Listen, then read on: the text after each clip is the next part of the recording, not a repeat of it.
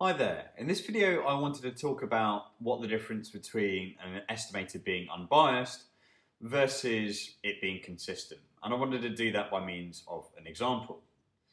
So the idea with this particular example is that we have some sort of population. And within that population there is some sort of population mean, which I'm denoting by mu. So this could be, let's say, the population mean height, it could be um, mean GDP of a country, it could be sort of a mean of any process you can think of, really. Okay, so that's the thing we're trying to estimate, given the fact that we don't actually have the entirety of the population data. We only have a sample from the population.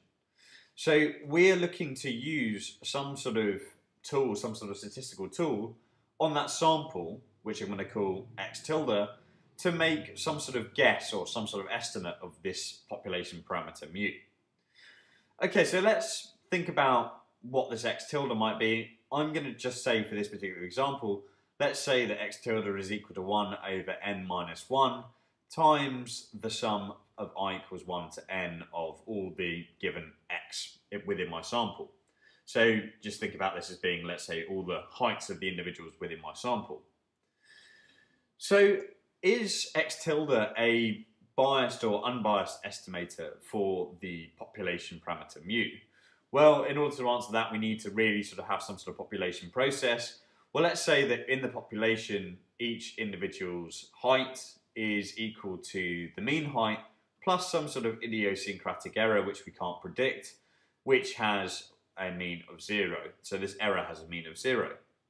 So given that we know the population process, we can actually apply the expectations operator. So if I apply the expectations operator to both sides, I get that the expectation of x tilde is equal to 1 over n minus 1 times the sum of i equals 1 to n of the expectation of xi.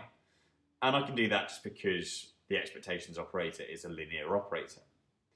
And furthermore, I know that the expectation of an individual's height, if I don't have any further information, is in fact just the mean height, mu. So this top actually becomes n, because I've got n individuals in my sample, times mu. So sort of writing it out in sort of long form, I get n mu over n minus 1 is my expectation of my operator x tilde. And note that in general, for any sort of finite sample size, this doesn't equal mu. So we've actually got a biased estimator for our population mean, mu. And we could have seen that quite intuitively, really.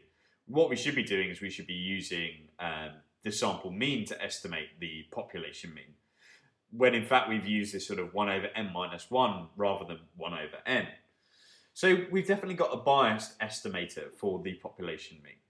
But is it consistent? Well, as n tends to infinity, or our sample size approaches the population size, what happens to our bias in our sort of x tilde? Well, on the top here, I have sort of n, and if n is a really, really big number, I'm then dividing that by some other really big number, just minus 1. Well, if n is a really, really big number, like 10,000, this minus 1 is kind of irrelevant. So in fact, I sort of get the n on top cancelling with the n on the bottom, and my sort of expected value in the limit that the sort of sample size goes to infinity is in fact the population mean mu. So even though I had a biased estimator of the population mean mu, I actually have a consistent estimator for the population mean mu.